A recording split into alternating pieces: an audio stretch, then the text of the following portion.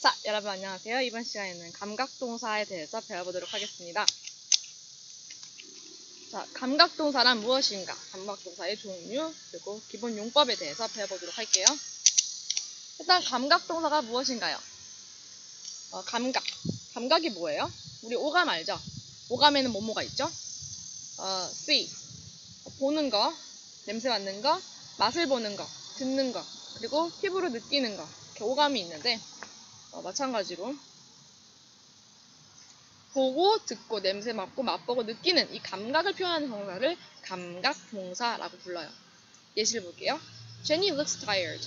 제니는 어떻게 보여요? 피곤해 보입니다. This feels soft. 어떤 느낌이 나요? 이것은 soft, 부드러운 느낌이 납니다. The soup tastes good.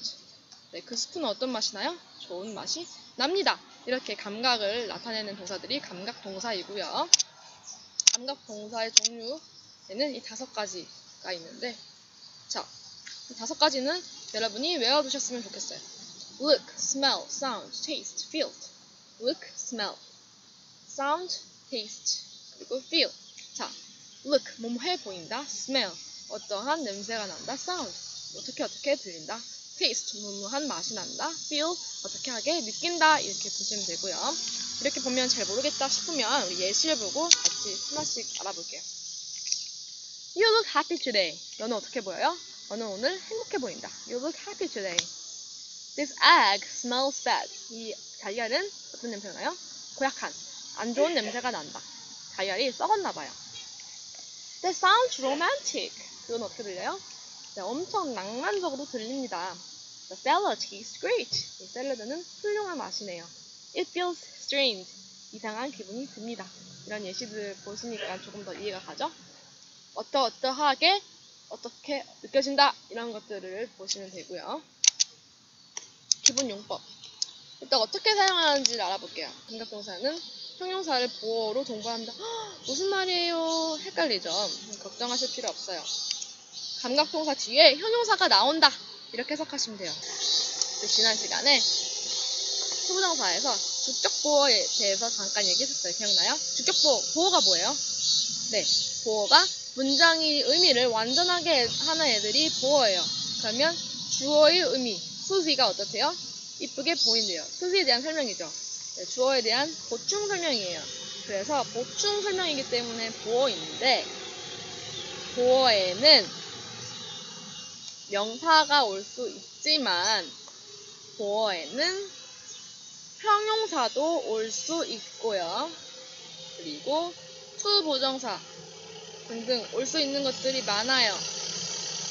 근데 오늘 일단 형용사가 올 수 있다는 걸 염두에 두시고 Susie looks pretty. 수지는 이쁘게 보입니다. 이렇게 감각동사 뒤에는 beautifully 동사가 아니라 동 형용사가 온다라는 점을 기억해 두시면 이번 레슨에서 가장 핵심적인 내용이에요. 이것만 알아두시면 이번 레슨 잘 이해하신 겁니다. 예시도 볼게요. Her voice sounds beautiful. 오, ful이라고 멈춰서 형용사를 쓰셔야지. adjective, 형용사 쓰셔야지 부사 쓰시면 안 됩니다. 근데 이게 주의하실 점이 있어요. 헷갈려요. 왜? 해석을 하면 부사처럼 해석돼요. 잘 봐요. 아름답게, 뭐뭐하게, 부사 같죠? beautifully. 그래서 직역을 하시지 마시고요. 아, 감각동사 뒤에는 형용사가 오는구나라를 머릿속에 알고 계셔야 돼요. 어, 몸 아름답게 들립니다. 해석은 부사처럼 될지 몰라도 형용사가 필요하기 때문에 her voice sounds beautiful 이렇게 해주시고요. The scarf feels softly 부드럽게 부사처럼 해석되지만 실제로는 형용사가 온다는 점 기억해 주세요. The scarf, 스카프는 feels soft 부드럽대요. 이렇게 형용사가 와야겠죠?